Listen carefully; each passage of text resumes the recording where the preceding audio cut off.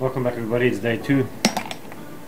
We stopped the video, we uh, tried to fit the crank and then I took it back. It was a bit tight for me so I just, just had to recheck the clearances.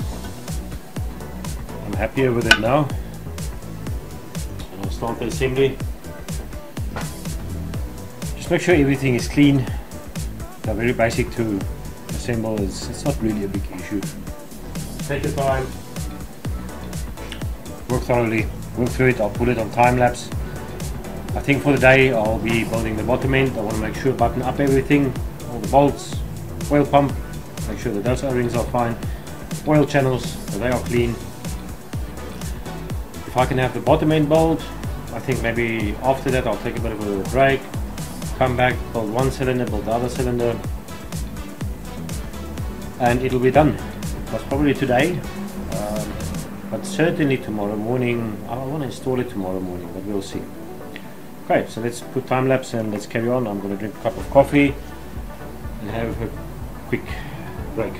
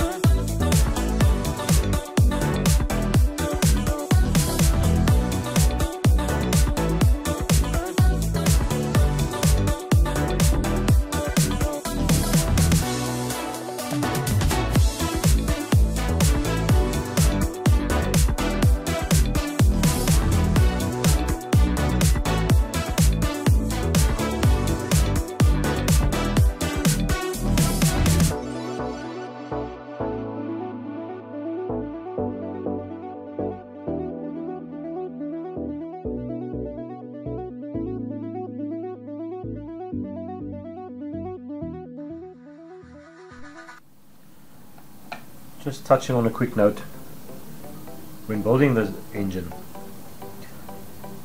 there's a sequence of events that these things are placed in. Start number one with your gear selector shaft, gear selector drum, pin, and then you add your oil feed tube to your gearbox. Everything goes underneath it. And another thing this little cotter spring that you have here. I would have a spare one because I've been working on the 650 motor. Let me just quickly get that one. Show you something there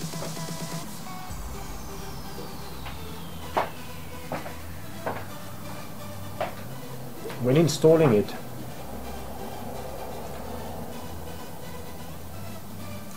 the spring presses at the back right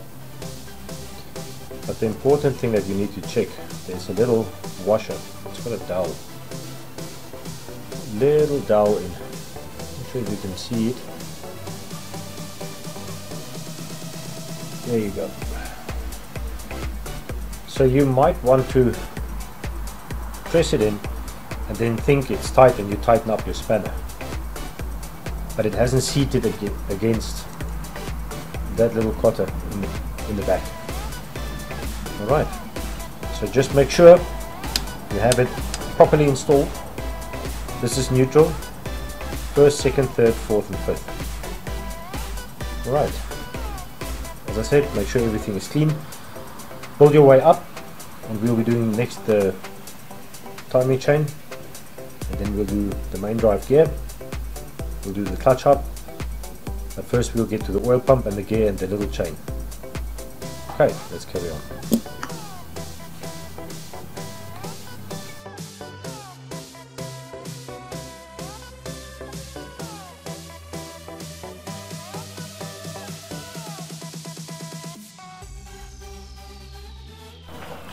Let's say you're assembling clutch. Gear, drive gears in, clutch assembly, oil pump that has been installed. Uh, the one thing I want to talk about is the clutch plate. When you're installing a clutch plate, if you ever heard your motorcycle in gear making a noise, pulling the clutch in it's quiet, you can ride it, just not sure where the noise comes from, it's this little retainer here, right on the top. Right. I'll show you how we pack it in, but it's on the top and we'll start assembling the clutch a little bit later. Oil pump drive chain installed. This one needs a replacement. I didn't get one. I didn't have, but I'll try again at some stage. At least I can take off the clutch cover, get it out, and install a new one. But yeah, for those of you who wanted to know about the clutch, we'll show that to you a little bit later. Let's carry on.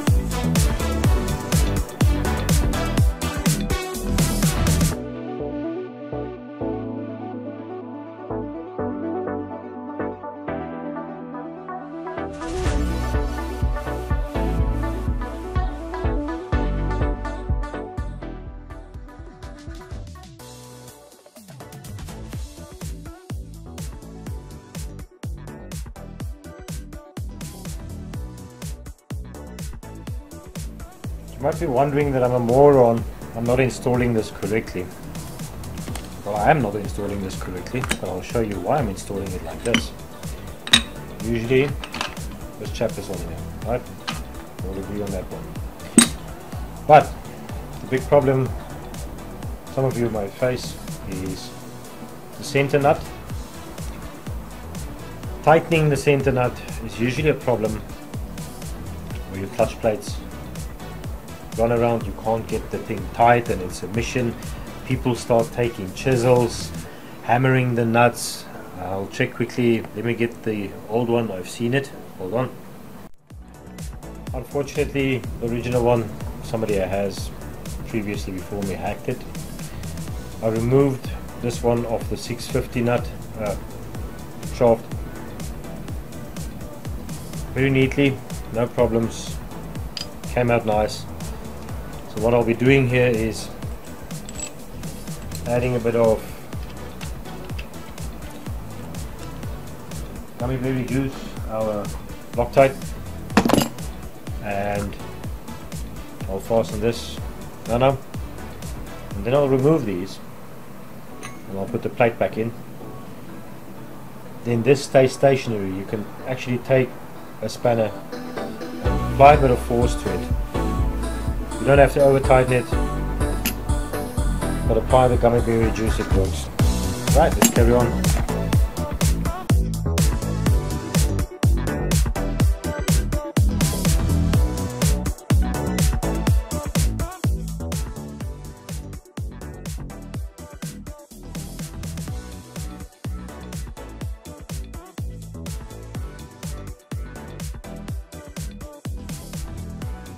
Okay, well, that concludes our assembly today. I wanted to do the bottom end, which I've done. Tomorrow I'll do the barrels and the heads and the cam timing. We will be installing these nice new, fresh, well not new, engineered, clean, seated, salted, new valve stem seals and everything, heads. The bottom end has been built If you're working with bolts on your Africa Twin, particular the flywheel side, if you're familiar with righty-tighty theory, lefty-loosey, this one works differently. When you think you're loosening it, you're tightening it. Okay, so remember that. Don't break off the bolts. Tightening it actually loosens it. Loosening it actually tightens it. Well, that's it. Um, if, you, if you're building an engine, doesn't matter what it is. It shouldn't be a marathon. Take it slow take do thorough work. Double check triple check your work. Add your jungle juice wherever required. Not too much of it. You need to loosen it maybe at some stage again. Doing the top end bolt. We'll be doing either the front or the rear first but remember the exhaust comes out to the back so don't think when you're installing pistons and I'll talk about that one tomorrow. Don't install them from rear out but I'll show you. And we're going to space the rings out properly. Okay well that's it for today. By the time you see the next video on this Africa Twin I actually want to complete it tomorrow and want to take a ride with it. I'm not sure yet where. I think what I'll do is I'll take uh, a bottle or something spin it and see in which direction it lands and that's the direction I'll take. Doesn't matter where it is. But it's going to be a bit of riding out tomorrow. No? Saturday. Let me finish this one up tomorrow. We have to get it installed first. Alright uh, another video coming up is the Africa Twins trip meter.